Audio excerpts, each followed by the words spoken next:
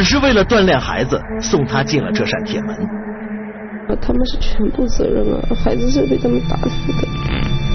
大学生，每次都大学生，哪找大学生？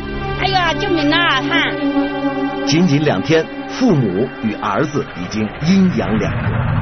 他们就是把脚按，我就把手按，马上就拍了三四下，两三下、三四下的样子吧。这个所谓的学校是怎样教育学生？今日说法为您播出《铁门之后的现场》。各位好，这里是今日说法，欢迎您进入我们今天的节目。今年的九月十八号，江苏射阳的陈先生和妻子把他们的唯一的儿子陈实送到了湖南的一所特殊学校去学习。据说呢，这个学校啊可以磨练孩子的意志，帮一些孩子改掉身上的坏毛病。呃，陈实呢性格有些内向，所以父母就希望通过磨练能够让他的意志更坚强。两口子谁都没有想到，在把孩子送到这个学校的两天之后，他们就接到了孩子死亡的消息。究竟在这两天的时间里发生了些什么？这究竟又是一所什么样的学校呢？来看一下今天的记者调查。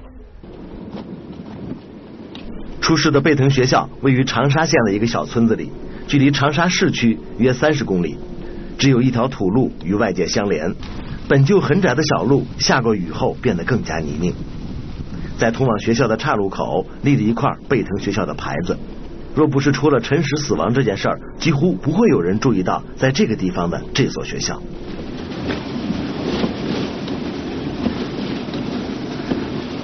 我身后就是出事的湖南省长沙贝腾学校，现在呢校门紧闭，不让任何人出入。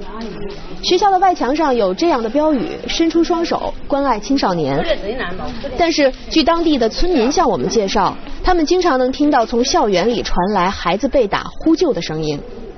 而来自江苏的十六岁少年陈实被父母送到这里不到五十个小时就离开了人世。在这短短的两天时间里，陈实在这道铁门里到底遭遇了什么呢？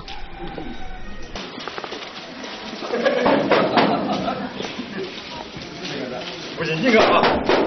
看门不进不不进去，进在这里不行进去。哦，那天那那天加了病来来的不进进去，不准进去啊！啊！记者敲了半天门，铁门上打开了一个小窗口。你好，有什么事情？你好，我们是中央电视台的，想了解一下咱们学校前一段发生这个那个学生死亡的事情。哦，我们现在负责人已经配合配合这个调查。嗯，我们想进学校看一下，好吗？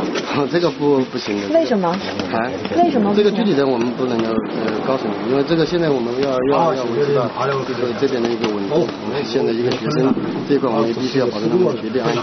嗯。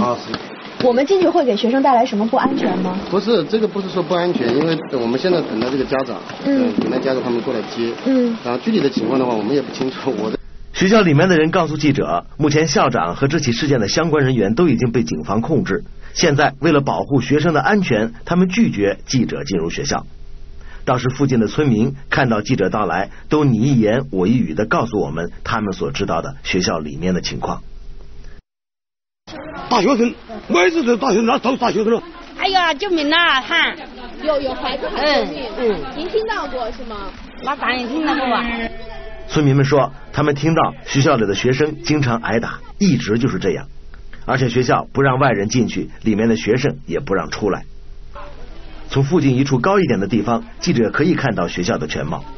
学校一进门是一个不大的篮球场，左边是一座二层的小楼。一楼像是教室，二楼的阳台上挂满了学生的衣服，应该是宿舍。阳台用铁栅栏封着。一楼通往二楼的楼梯口也有一道铁栅栏门。学校的围墙上布满了竖立的碎玻璃。这到底是一所什么样的学校？陈实又是怎样死在里面的呢？在长沙县的一家宾馆里，记者见到了从江苏赶来的陈实的父母。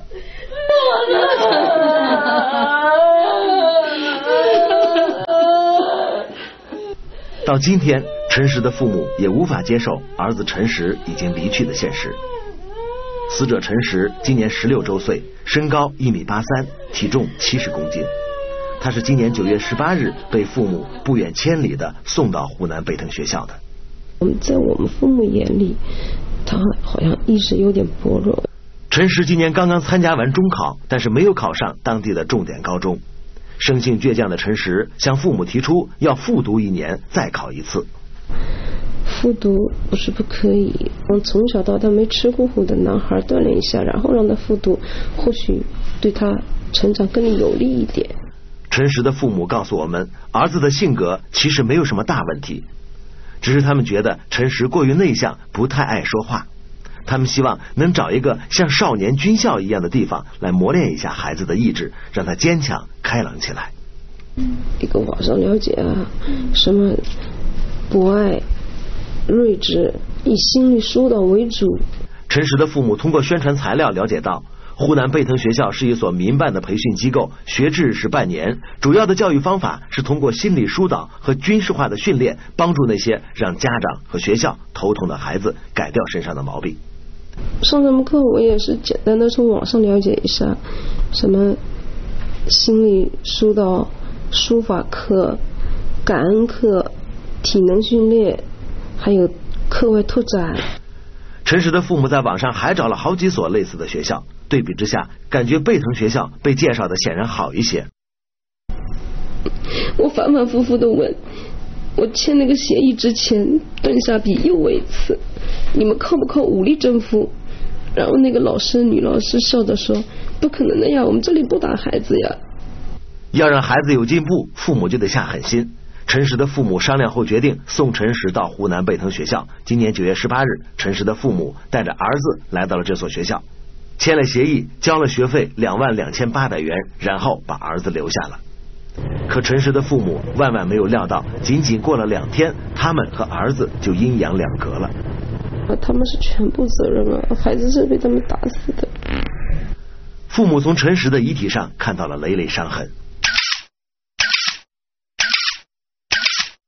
显然孩子死前一定是遭到了毒打。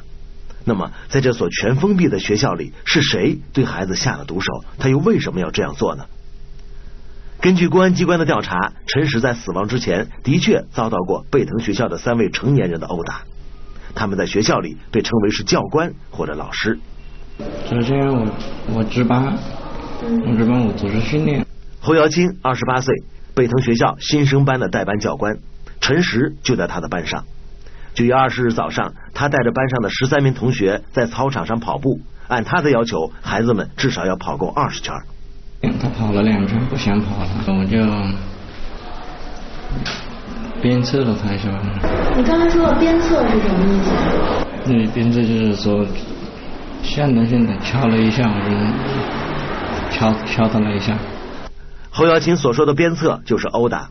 贝腾学校嫌打人难听，就叫鞭策。鞭策当然就得用鞭子一类的器械。这个侯教官用的是重约两公斤的塑料棒子。这个呢，就是。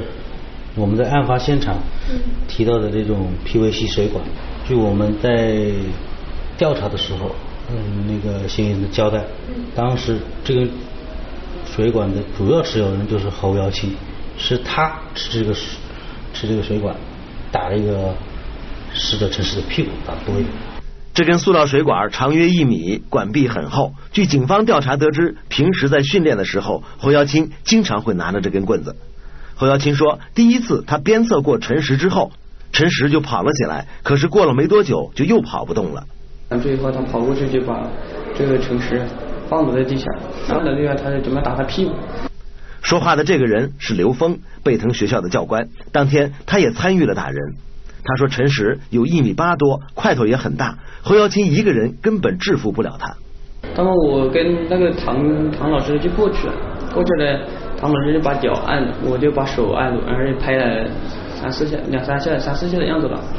刘峰说，他和另外一名姓唐的老师一起帮着侯耀金教官把陈实按在了地上，只是打了他的屁股。在公安机关的调查笔录中，记者看到了一位目击学生对当天情况的描述，这也许更接近事实。侯教官一个半腿把陈实绊倒在操场上，一边的唐教官也赶上来踩住陈实的手和脚，把陈实按在地上。侯教官用棍子打陈实的屁股，之后侯教官和刘教官用脚踢陈实的躯干和腿，他们还把陈实的脸踩在脚下，陈实的脸贴在地上，鼻子或者嘴里流血了。公安机关还了解到，三个成年人在操场上打了陈实之后没有解气。由于当时恰好有家长来到学校，于是三个教官又把陈实拖到了办公室。他的办公室就在这个位置，要他面壁思过。嗯。然后在里面呢，就还采取了一些殴打。嗯。我们在这个墙上发现了有一些擦拭血迹。这是办公室的墙上的血迹是吧？擦拭血迹。嗯。就这个位置。嗯。目击学生笔录记载。十一点多，侯教官和刘教官分别拉住陈实的手，将他拖到一楼的办公室里。拖的过程中，陈实的屁股和脚一直没有离地。之后，办公室门就关了，里面只有侯教官、刘教官和陈实。从办公室里传来抽打耳光、啪啪的声音。到办公室里打了多长时间？呃，嫌疑人交代呢，打了半个小时左右，但是根据学生讲呢，有一两个小时。嗯，这个东西有一点误差。嗯，反正在学校，在反正就是在这个办公室里面，肯定是进行了殴打。嗯，并且这些殴打的强度，嗯，比外面的没有没有没没有轻的，肯定还有重的。嗯，目击学生这样描述：隔着窗户看到陈实想站站不起来，侯教官还用棍子打陈实的屁股。我还看到侯教官和刘教官把陈实按在墙上。从三个教官的供述以及目击学生的描述中，看不出陈实当时究竟犯了什么严重的错误。他的错只是不太配合训练，关键是冒犯了所谓的教官。因为这个学生在这个骂的骂和踢我们的时候，在我们身上吐了口水，吐到我身上了，而且骂人家，然后他还说你放开，让我们跟你单挑，孩子是就是孩子的原话。在全校的学生面前，你是这样骂我，但是我因为我不把你杀下去，我以后怎么去从事这种教育工作？任何一个学生都只可以指着你骂。那当时除了打，没有其他的方法吗？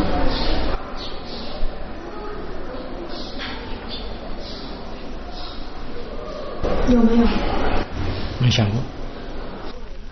据侯教官说，对陈实的鞭策进行到了上午十一点多的时候，他们已经累得够呛，陈实也不再反抗，于是他们就停了下来，让陈实在办公室里反思。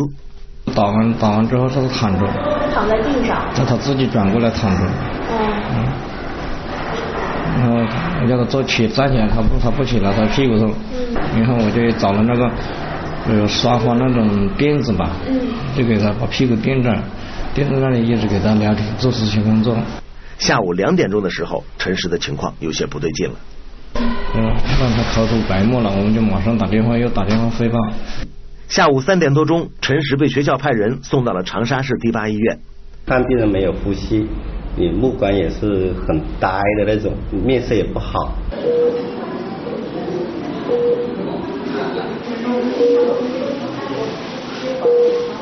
据当时负责抢救的医生说，陈实送来的时候，心跳、呼吸其实就已经停止了。当时这个死亡原因说不清楚。这我是写的初始查因，就查原因。查原因就是说，第一个就写一个心脏性猝死，第二个写个中暑，打个问号，和多处软组织挫伤。在陈实的病例中，我们可以看到这样的描述：死亡原因中暑引起的心脏猝死可能性大。陈实的父母对这段文字有很大的疑问。这么高的个子，一米八三，体重一百四十斤，嗯，体质很好。陈实的父母说，儿子明摆着是被殴打致死的，怎么可能被说成中暑呢？在他们的追究之下，医院对这段文字做了这样的说明。因为就是我们跟他来了，有两个男的，一个女的，他是跟我提供的病史讲在军训时候那个发病。嗯，当天的气温就就是说平均气温那天报道二十有三十七度，而且外面的温度更高。医生告诉记者，在救治患者的时候，当然要询问病史，并且记录在案。但是当时陈实送来的时候已经完全没有意识，他们就只能问送来的人。而当时送陈实来的贝腾学校的教官说，陈实就是中暑，并无其他。医生不过是如实的写了下来。就是我们考虑是一个中暑可能性大，而且没下没有一定的诊断，不是讲一定就是这个病，这个不会作为依据的，最后依据还是要通过法医的鉴定。陈实到底是怎么死的？由于尸检报告还没有出来，现在没有最终的准确结论。但是可以肯定，陈实的死亡与他遭到的毒打有关。目前，打人的教官被刑事拘留，贝腾学校的校长则被警方监视居住。我们今天请到演播室的嘉宾是《工人日报》要闻部主任石树思先生。石老师，我们通过刚才记者调查就能够看到，这个学校铁条封着，到处都是铁栅栏，又有碎玻璃的围墙，孩子们在里面就动不动就会被教官殴打。如果要是让您给这样的学校定一个性质，您会把它称作什么？差生训练营，嗯嗯，骨子里很像魔鬼训练营。啊，嗯，对，魔鬼的教官，下一步就是集中营。了。是，嗯，您分析为什么学校会老有这种事情发生？这样的学校，你现在注意一个事实，嗯，这个学校半年，呃，这个孩子的家长花了两万两千八。千八百块钱，对，这意味着什么？意味着我们花了很多的钱，嗯嗯，我们我们的孩子，我们的管理已经不能让它是吧？按照我们的愿望成长，嗯嗯嗯，你又是盈利机构，对，你必须在半年的时间里要有显著的效果，嗯嗯，不就这样听话吗？对，他们采取了一种简单粗暴的直线路径，很像什么那个呃反法西斯影片看多了，嗯，把纳粹那一套都学会了，嗯，用一种错误的方式，嗯，来完成一个错误的使命，嗯嗯，两个错误的叠加，谋杀了一个生呃鲜活的生命。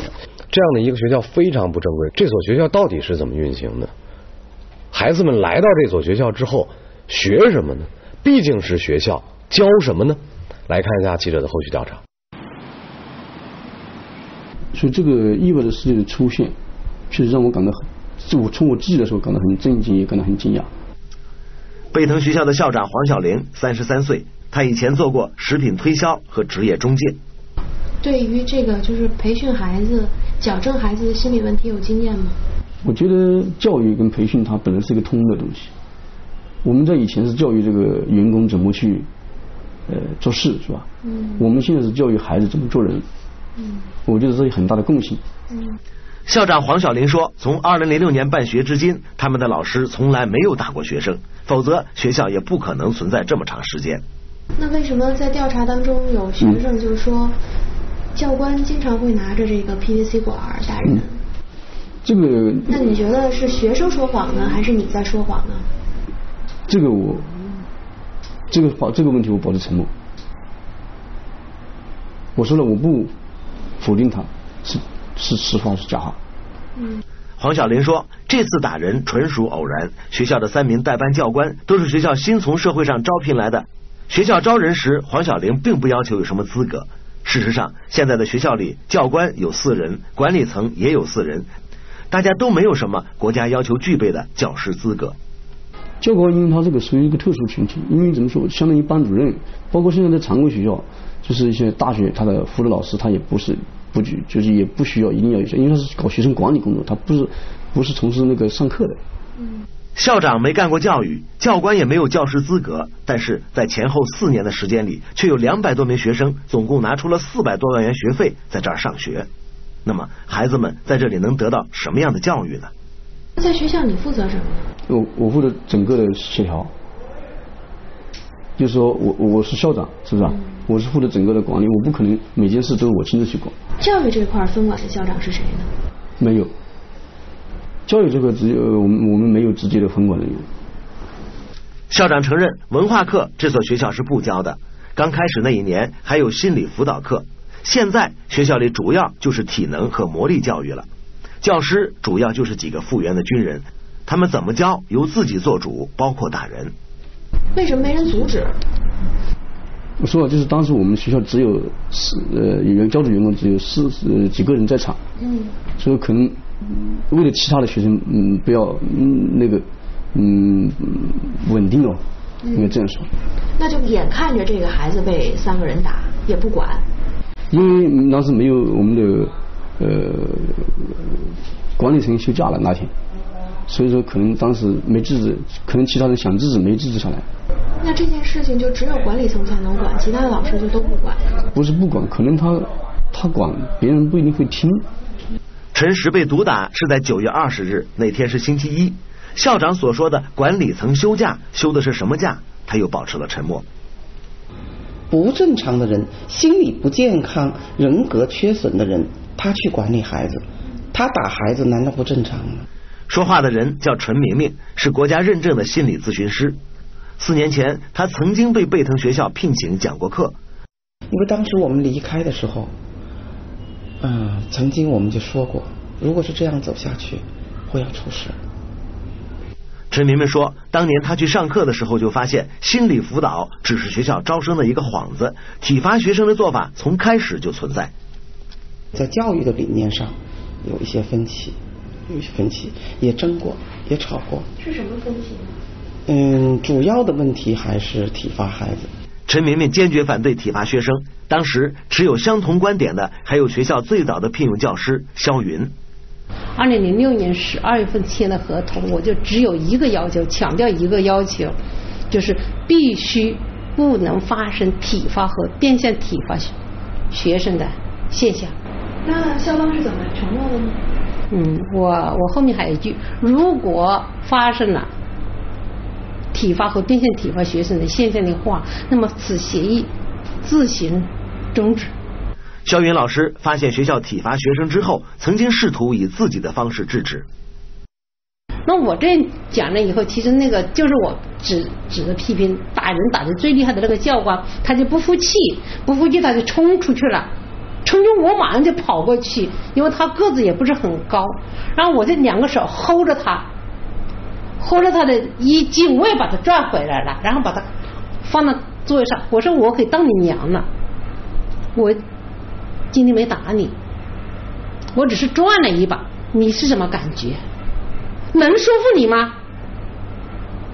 但是自始至终，这个会是不欢而散，而且校长在场，不不说一个字，不表态，这就是默认。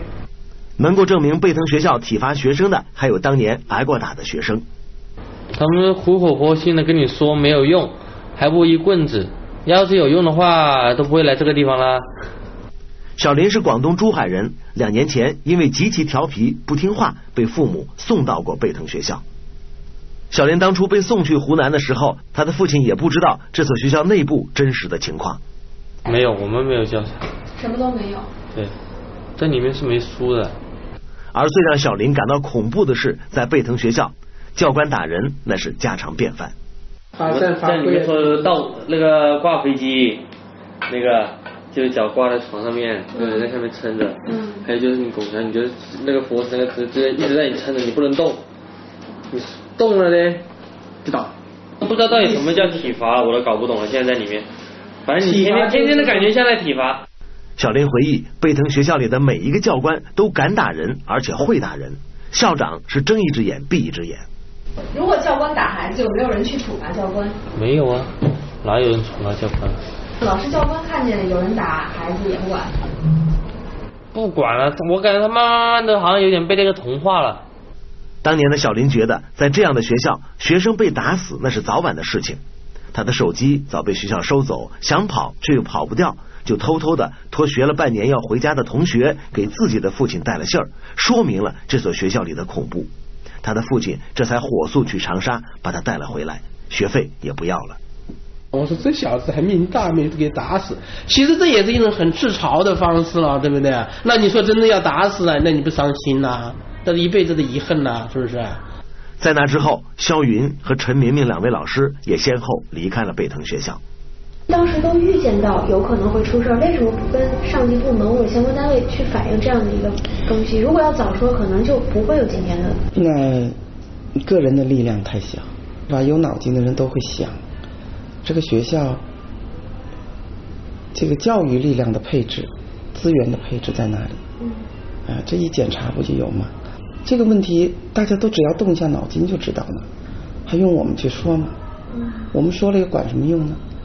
在陈氏案件发生之后，九月二十四日，长沙县教育局做出了取缔贝腾学校的决定。但是，当记者离开湖南前，再次来到贝腾学校的时候，校门依然紧闭，隔着门缝可以看到里面依然还有穿着迷彩服的学生。他们和家长知不知道这所所谓的学校已经被取缔了呢？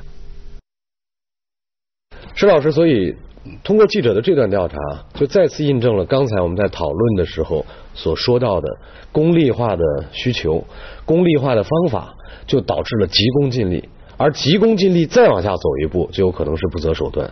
这是一个其实是一个整个社会甩包袱的工程。嗯，这个甩包袱过程是我们都知道，我们的教育正在进行深刻的变革。嗯，应试教育还是占据了主主导的地位。对对啊，成绩为上，读书为上，嗯，高考为上。嗯，这是。全社会的共识，尽管我们很多专家，我们很多有识之士认为它不对，但是它它是现实。对，而在这个现实的背景下，会出现一批人，对对，被贴上了差生的标签，往学校甩包袱啊，因为升学率甩给家长，家长接不起，就交传就击鼓传花传到了这个传到了这样的啊民办培训机构。嗯，教育是呃是是是是一种非常高尚的一种职业嘛，那。这种东西完全被金钱或者被功利的这样急功近利的东西替代以后，嗯，我觉得这个悲剧就自然就会延伸下去。教育它有四个字，叫教书育人。对，教书上中国绝对，我我个人感觉全球一流。嗯，但我们的问题在育人上，在育人上。嗯，我们尊重人，嗯，关心人，发现人，嗯，引导人。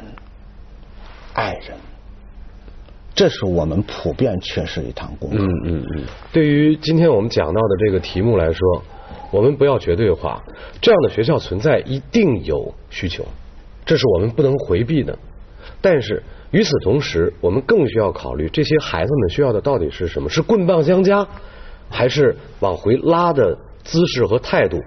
是全封闭、禁闭式的管理，还是我们老师和家长？更开放的、容纳的胸怀。